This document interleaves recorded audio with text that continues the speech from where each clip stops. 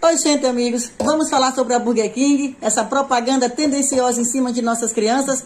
Falo logo de cara que eu não tenho problema nenhum em falar sobre nenhum assunto, tá? Nunca tive homossexualidade, feminismo, racismo, nunca, porque desde criança essas situações sempre fizeram parte da minha vida e nunca foi motivo de bandeira ideológica ou política, mas relações humanas, onde a tolerância e o respeito sempre se fez presente. Tenho amigos gays, amigas lésbicas, familiares, onde eu prestei assistência, ajudei essas pessoas a se encararem como são e serem felizes. Então não tenho problema nenhum lidar com isso. Agora sim, quando tentam atingir nossas crianças, suas mentes com confusões, aí eu chego junto, porque não tem nenhuma boa intenção por trás disso. Família de modelo tradicional, o principal alvo nessa guerra espiritual tem em nossas crianças o foco do momento, tá? Porque quando atinge as nossas crianças, atinge o núcleo da família, atinge a fatalidade que no futuro poderá não mais existir. O modelo de família tradicional que dá origem a todo mundo, gays, lésbica, trans, travesti, todo mundo sai desse modelo de família.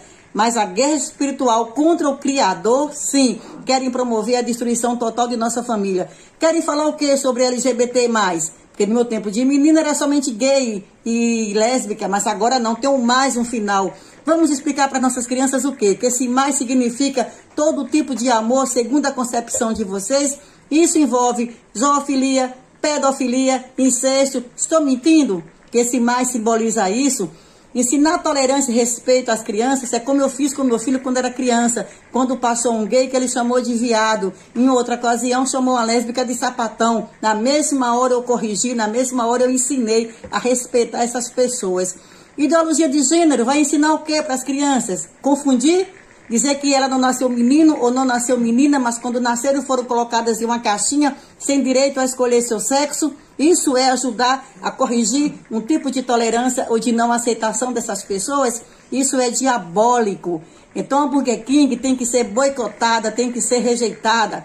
Na sua rede social, suba a hashtag dessa rejeição. Não consuma esse produto. Eles têm que sentir no bolso a nossa rejeição, o nosso conhecimento sobre essa investida. Eu, particularmente, sem nenhum problema em relação a isso, porque o meu modelo de vida, medicina preventiva, esse tipo de alimentação nunca fez parte. Mas para quem consome, não consome mais. A direita conservadora do Brasil não pode mais consumir nada que venha da Burger King.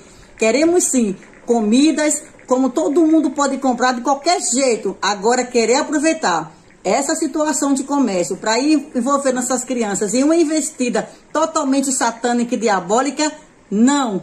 Rejeição total ao Burger King. Essa é a maneira deles sentirem que realmente sabemos de suas investidas. No mais, deixem nossas crianças em paz, cambada de Satanás.